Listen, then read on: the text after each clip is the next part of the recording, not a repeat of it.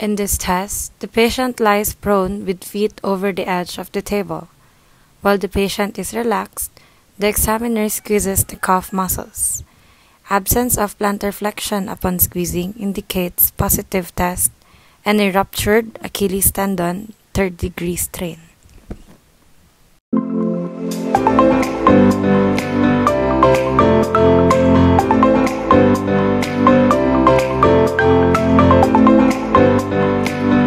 Thank you.